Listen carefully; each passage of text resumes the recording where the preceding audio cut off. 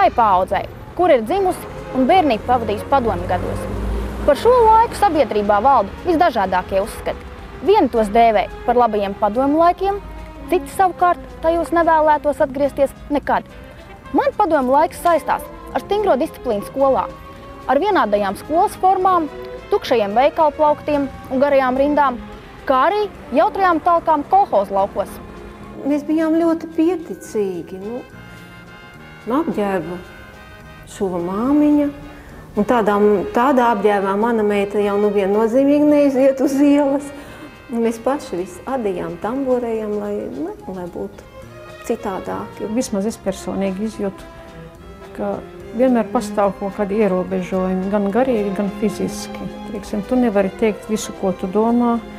Uh, tu nevari uh, nevar arī teiksim, pat fiziski pārvietoties, jo teiksim, var, varēja ceļot pa visu plašo padomju savienību, bet, bet uh, izbraukt ārpus padomju savienības tā jau bija liela problēma pat uz socialistiskajām valstīm. Mēs bijām pilnīgi atrauti no tās bagātās um, no kultūras vidas un izglītības vidas un zinātnes vidas, kāda ir Eiropā un pasaulē. Daudz kas atkarājās no tā, um, kas bija augšā sākot no Maskavas un beidzot Rīgas centra. Nu, galvenokārt partija. Tā bija tā vadošā un tā bija tā noteicošā. Es domāju, ka labais un ātri izzūdošais ir cilvēciskums. Un man, kā tajā laikā ilgu laiku dzīvojošām, ir daudz grūtāk paiet garām pakritušam, kā vienam mūsdienu jaunietim, kurš saprot, ka viņš vienkārši ir neveiksminieks un lai viņš tur guļ.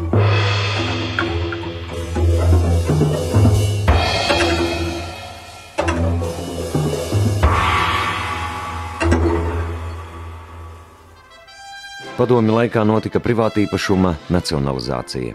Tas nozīmē, ka pilsētu un lauku iedzīvotājiem privāto īpašumu atņēma bez jebkādas atlīdzības un pārvērta to par valsts īpašumu. Privātīpašuma nacionalizācija pēc otrā pasaules kara aptvēra visas nozares. Kādi bija padomju saimniekošanas pamatprincipi? Valsts īpašums ir galvenā īpašuma forma. Valsts komandē un kontrolē ekonomiku. Nedarbojas brīvā tirgus likumi. Valsts nosaka cenas visām precēm un pakalpojumiem. Padomju saimniekošana ierobežo un aizliedz cilvēka kā uzņēmēja un ražotāja tiesības. Tiek apspiesta iniciatīva, darbošanās notiek partijas paredzētajos rāmjos. Ekonomikas procesi ir komunistiskās partijas plānoti, eksistē piecgadu plāni. Plānveida ekonomika nozīmē to, ka ekonomikas izvietojumu vēlas norganizēt cilvēks. Organizēt cilvēks. Tirgus ekonomikā ekonomikas izvietojumu organizē tirgus. Arī toreiz šīs plānošanas pamatā bija teorētiskie aprēķini un zināšanas. Arī toreiz pamatojās uz citu ekonomisko sistēmu analīzi un ņēma to kā piemēru. Vienīgā īpatnība, kas bija tajā laikā, vai tajā sistēmā, atšķirībā no brīvā tirgus sistēmas, tā ir īpašuma forma. Un šī īpašuma forma nosaka ieinteresētību darba rezultātos. Lūk, ja īpašums nepiedara nevienam un visiem, tad uh, arī ieinteresētība darba rezultātos nav sevišķi liela. Bez tam šī sistēma bija ļoti stipri regulēta un ļoti stipri centralizēta. Un tās divas uh, galvenās lietas kas arī galvenokārt noteica viņas neveiksmi. Darba attiecībās ieviesa vienlīdzības principu. Kopumā cilvēki nebija interesēti strādāt, jo par labu vai sliktu darbu maksāja vienādi. Nebija stimula censties un parādīt iniciatīvu, jo maksimālās algas lielums tika stingri noteikts. Darba disciplīna zema, daudz no saražotā brāķis. Biedri, lasman, es jums prasu, ko jūs te darāt? Biedri, ciek, pulkstens vēl nav pieci beidz savu darbu, atnāca puikām palīgā. À, nu, bet vai tad tevi te kāds norīkoja, vai? Ne, nenorīkoja, bet man tur ar to slotu pagalmā tādu gumiju iztaipīšanu vien sanāk. Kārtība ir kārtība. Ja te esi nolikts pie slotas, tad ej jums lauki. Ak, tad tomēr jāstiep gumija. Man pie jums sāk nepatikt. Brigadieri, tam puisim steidzīgi nepieciešams smadzeņu remonts. Man vienkārši nepatīk, ka stiepjam gumiju. Tad raksti iesniegumu uz paša vēlēšanos. Darba disciplīnu valdība centās paaugstināt ar likumu. Galvenais līdzeklis, kas darbināja valsts pārvaldes sistēmu un ekonomiku, tolaik bija represijas. Vispārējais dzīves līmenis PSRS bija zems. Lai uzturētu mītu par padomju sistēmas pārākumu pār kapitālismu, valdība sniedz tautai nepatiesas ziņas par ekonomikas rādītājiem. Piemēram, tika viltots rūpnīcās saražotās produkcijas daudzums, parasti to atskaitēs uzrādīja vairāk nekā patiesībā.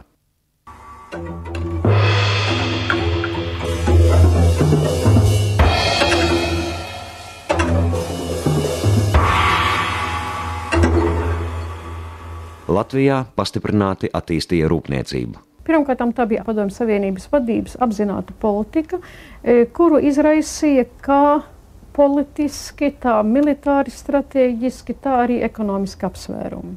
Baltijas republikas vispār teikt, bija padomju savienības priekšpostenis pret rietumiem. Un, un īpaši jau Latvija, kura centrālais stāvoklis Baltijas republiku vidū to padarīja tīsim, par tādu īpaši svarīgu no militāra strateģiskā viedokļa. Otra lieta ir ekonomiski politiski apsvērumi. Un tie uh, izpaudās tādējādi, ka centās panākt pēc iespējas ātrāku Baltijas republiku integrāciju kopējā padomju Savienības ekonomiskajā struktūrā. Rūpniecības attīstība, industrializācija, īpaši tādā veidā, kā tā norisinājās 40. un 50. gados, tā, protams, ļoti e, veicināja šāda veida integrāciju. Tajā laikā Latvijā no jauna uzcēla 47 rūpniecības uzņēmumus. Sākot ar 60. gadiem, Latvijā sāka celt lielas fabrikas, kas bija paredzētas Padomju Savienības vajadzībām, nevis vietējam tirgumam.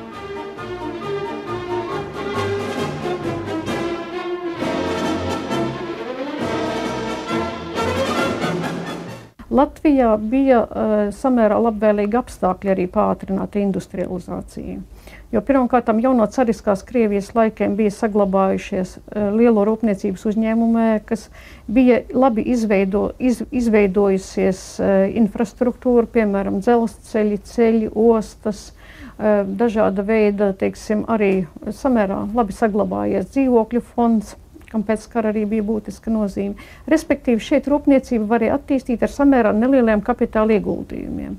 Un faktiski, ja teiksim, pēc kara tika apgalvots, ka nu, industrializācija ka ir milzīgi ieguldījumi, ka Padomju Savienība teiksim, ļoti daudz iegulda milzīgus līdzekļus, lai paceltu nabaga atpalikušās Latvijas uh, ekonomiku, tad patiesībā teiksim, reālais kapitāla ieguldījuma apjoms līdz pat 50. gada beigām patiesībā nemaz nebija tik liels Tika izmantots jau pastāvošais potenciāls.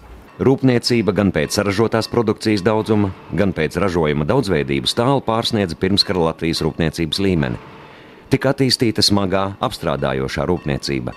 Lielu rūpniecībai vajadzēja milzīgu daudzumu strādnieku, kuri atbrauca no citām Padomju Savienības republikām. Висело полно плакатов. Много объявлений было. Очень много. То строили такой комбинат, потом э, в Елгову вот этот трафик.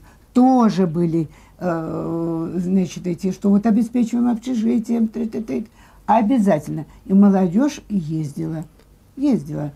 Я работал э, преподавателем в Казанском авиационном институте. И мой друг, он был деканом э, автомобильного факультета, там был автомобильный факультет, и много специалистов, выпускников Казанского авиационного института были направлены сюда, в Елгову. И даже директор э, генеральный директор э, этого завода был как раз выпускник, знал, мой товарищ его непосредственно. Выпускник? Выпускник вот, Каза, Казанского авиационного института. В Латвии, как вы знаете, развили очень большую промышленность. Наши секретари этому не препятствовали. Я не политик, но я читала много литературы и знаю, что когда развивали эту промышленность, например, я знаю, что Польша, Пельша – за то, что он позволял этой так называемой русификации проводить, да, то есть развивать эту промышленность, а раз промышленность развивается, нужны люди, этих людей звали, они сюда приезжали, и они потом оседали, заводили свои семьи. А он получил даже за это орден. Vārds Latvijas Komunistiskās partijas centrālās komitejas sekretāram Arvīdam Pelčem. Трудящиеся советской Латвии и впредь будет также самоотверженно трудиться на благо нашей любимой Родины, с честью выполнять поставленные нашей партии величественной задачи строительства коммунизма в нашей стране. Komunistu ideoloģija paredzēja iznīcināt nacionālās kultūras un ieviest noteiktus padomju dzīvesveidu standartus. Par vienotu padomju nācijas valodu bija jākļūst Krievu valodai. Komunistiskai partijai! Urā!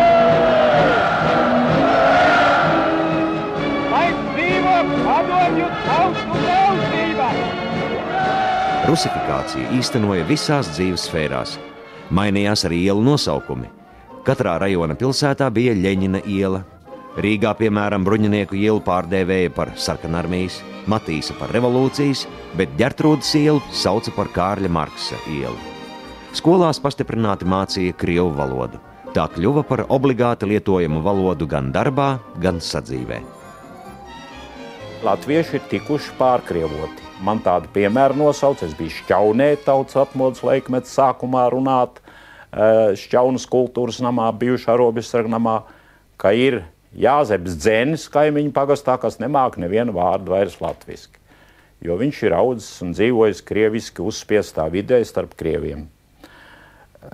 Lūk, eh, šīs divas rusifikācijas puses, savas dzimtās valodas zaudēšana, šai vienai valodas pusē nāk vēl klāt dzimtās valodas piesārņošana ar rusicismiem, kas vēl tagad ir spēkā un vēl tagad ir paliekoši, sevišķi teikumu konstrukcijās, arī vārdu izvēlē. Un šī mūsu uh, teritorijas zaudēšana un mūsu tautas daļa aizdzīšana trimdā, baiļu dēļ, kas ar viņiem notiks, ja viņi paliks Latvijā. Tāds ir mans skatījums uz rusifikāciju, un es apvienoju šos jēdzienus, teiksim, valoda, zeme, teritorija.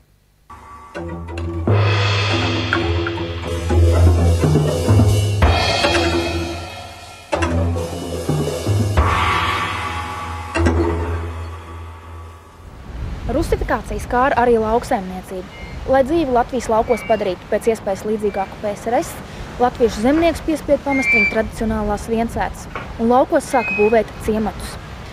Ciemati ar daudzstāvu daudzdzīvokļu ēkām iezīmēja kolhoza ēru. Pēc kara Latvijas zemnieki sāk atjaunot saimniekošanu kauja izpostītajās viensētās. Tomēr drīz kļuva skaidrs, ka gaidāmas lielas pārmaiņas. Padomi vara neizrādīja nekādu interesi par lauku viensētu atjaunošanu. Pat otrādi - saimniecības aplika ar lieliem nodokļiem, lauksaimniecības produktu nodevām. Pēc 1949. gada deportācijām Latvijas lauki bija pilnībā pārvērtušies. Iekopto bagātāko māju saimnieki bija izsūtīti. Tie, kuriem Sibīrijā izdevās izdzīvot, Latvijā sāk atgriezties tikai 50. gadu pusē. Tomēr viņiem savās mājās vairs neļāva saimniekot. Zemniekiem nācās atteikties no savām saimniecībām un iesaistīties kolhozos un sovhozos. Tieši ar padomju varu tas gadījās, ka sanāca kopā un kolhos radījās.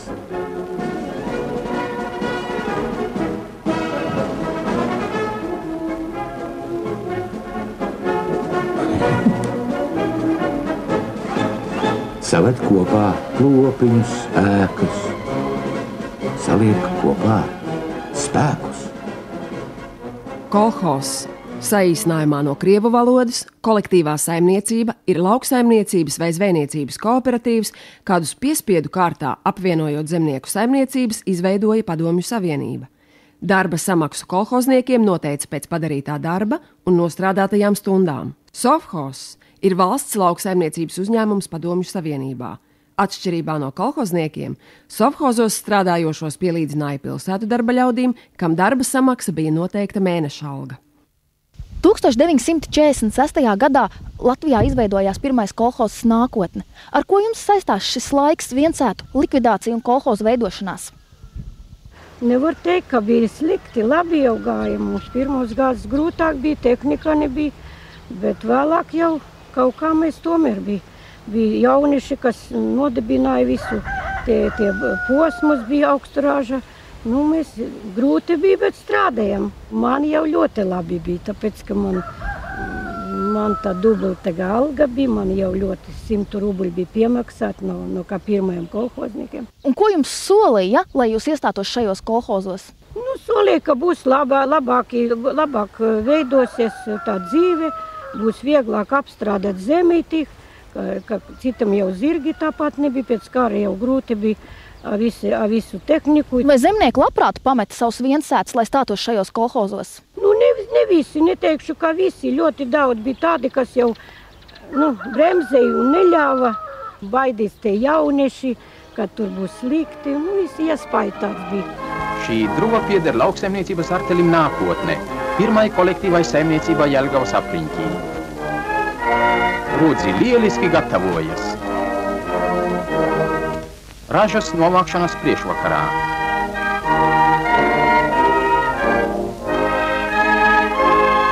Saremontēta jau arī kuļmašīna. To pārbauda brigadieris Matīs Siliņš. Es nestājos pa kolhoznieku iekšā, jo man, man vienmēr ir gribējis brīvību. Es nezinu, es gribēju patstāvīgi būt. Un, un es nekad negribēju būt eh, kolhoznieks skaitās piesaistīts. Nu, nu, apmēram dzimt, dzimt cilvēkus gandrīz. Tur bija vairākas grupas, kā cilvēku skaita tā. Piemēram, bija nabadzīgi tādi darba zemnieki. Tie cilvēki gribēja, jo viņiem noteikti kaut kas uzlabosies. Un tiešām viņiem dzīve uzlabojās. Bet zemnieki šitie te jaunsaimnieci, sūmaņi saucamās, 20 gadu e, hektārnieki un tādi, tādi, kas bija. Tie cilvēki taču bija izcīnījuši to zemi brīvības cīņās. Un šitie cilvēki maksāja nodokli līdz pēdējam. Viņi gribēja palikties. Bet kas bija bailes no tās Sibīrijas, ka, ka tā 49. gadā uztaisīja to, to kraku ar, ar, ar to izsūtīšanu, tad visiem šausmīgi bail tiem zemniekiem bija. Kolhozos sadzīto zemniekus līdz pat 50. gadu vidum nežēlīgi eksploatēja. Viss saražotais bija obligāti jānodot valstī par ļoti zemām cenām. Cena, ko maksāja valsts, sedza ražošanas izmaksas par 10-20%. Par peļņu nebija ko domāt. Kolhoznieku ģimenes tajā laikā pārtika no piemājas saimniecībā izaudzētā. Padomi vara ļāva apstrādāt pushektāru zemes un izaudzēto paturēt savām vajadzībām. Drīkstēja turēt vienu govi un dažus sīklopus. 50. gados kolhoznieks visu savu algu pats varēja pārnest mājās. Tas bija graudu vai kartupeļu maisis. 1961. gada komunistiskās partijas programmā tika pasludināts, ka viens no centrālajiem uzdevumiem ir pamatvilcienos likvidēt atšķirības starp pilsētu un laukiem. Lauki tika uzskatīti kā piedevu pilsētai. Lauki pilsētai. Tātad pilsēta ir galvenā, pilsēta ir svarīgākie. Lauki ir vajadzīgi tikai par cik tie nodrošina pilsētu. Un līdz ar to tas akcents tika likts uz pilsētas iezīmju aiznešanu uz laukiem. Un, līdz ar to, ja 30. gadu beigās Latvijā cilvēki dzīvoja viensētās, tad jau 80. gadu vidū vairāk kā puse dzīvoja ciematos. Līdz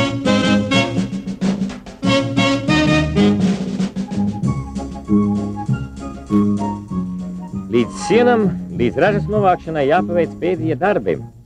Kolhoza ciematā klaudas celtni, ķieģeļi, ķelles, lāpstas.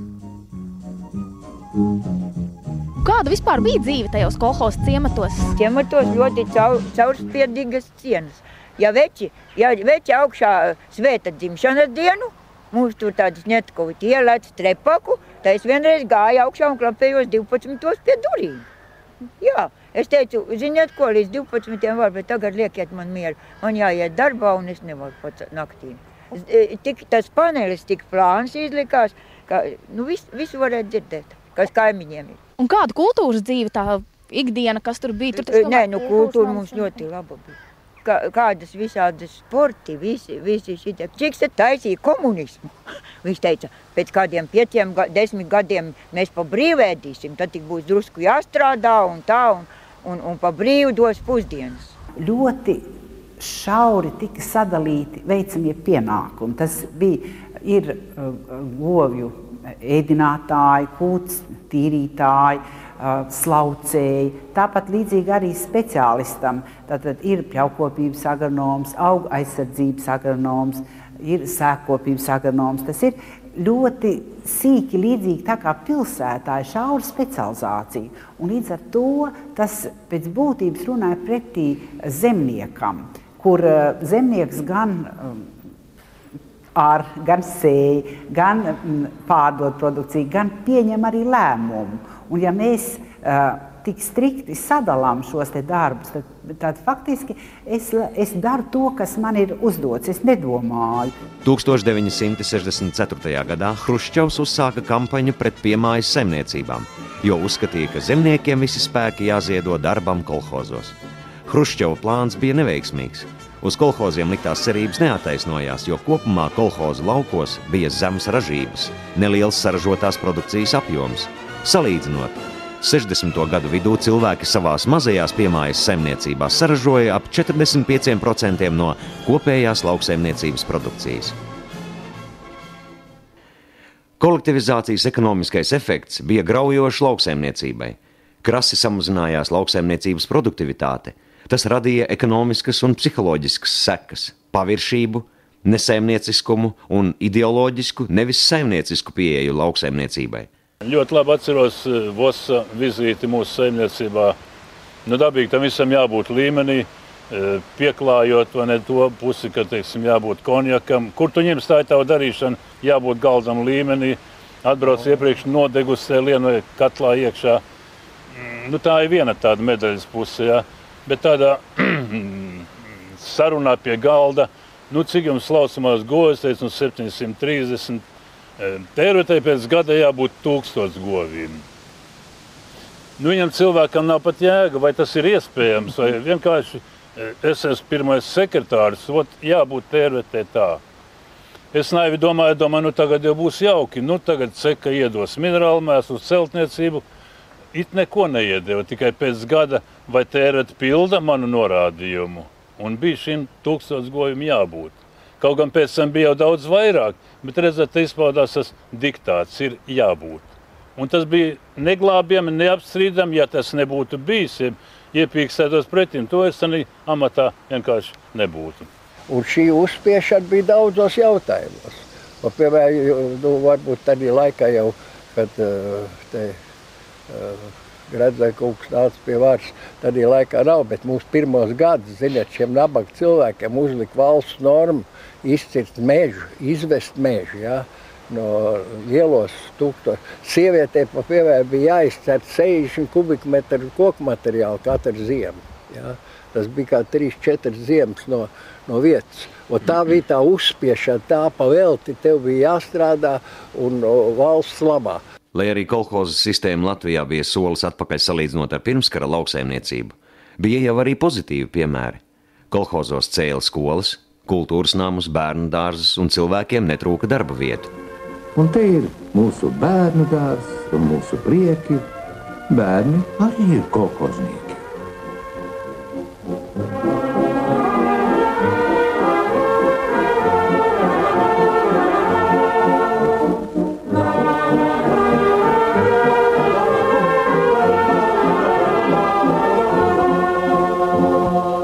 Baltijas valstis jau uzskatīja kā tādu nu, paraugu reģionu visā Padomju Savienībā. Un diezgan devīgi deva iekšā līdzekļus, vajadzēja tikai prasa izmantot. Nu, padomājiet, melorāciju uz valsts rēķina pa brīvu, e, kūdras sagāde, cik katram vajag pa brīvu, bez maksas. Nu, padrūmāk bija tehnika tā tālāk. E, padomju saimniecībām, saucamiem sauhoziem, ja?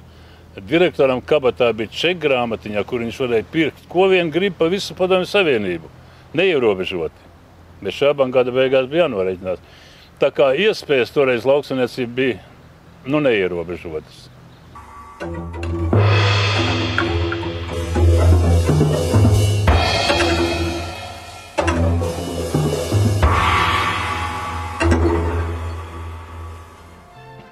Vienas kampaņas neveiksme bija piedzīvota. Tūlīt radās nākamā - kukurūzas pasludināšana par glābēju kultūru lauksaimniecībā. Tā kā partijas vadītāja vārds bija likums, zemniekiem piespieda audzēt kukurūzu visur. Arī Latvijā sākās kukurūzas laiks. Šādi varēja izskatīties komunālā dzīvokļa virtuvē, kurā saimniekoja Blūmu, Ivanovu, Petrovu un arī Zariņu ģimenes. Mūsu apskauda sevišķi rada draugi, āk, laimīgā atkal uz ārzemēm. Pionieri, Vissavienības bērnu komunistiska masu organizācija, kuras devīze vienmēr gatavs. Un tomēr man ir nepārņem šī laimes sajūta, un man ir ārkārtīgi žēl savu vecāku. Vispār visu cilvēku, kas bija, kas dzīvoja tajā laikā, kas būtībā savus labākos, skaistākos gadus ir izdzīvojuši tā saucamajos sociālisma gados.